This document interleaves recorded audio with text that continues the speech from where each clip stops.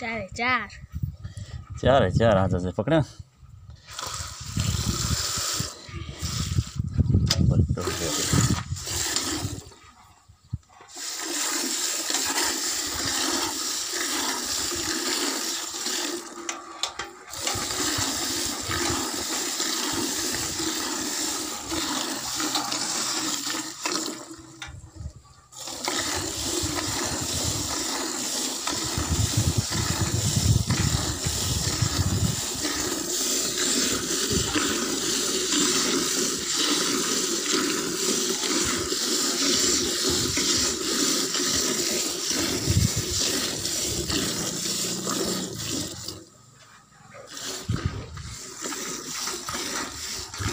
છે. મને બોલો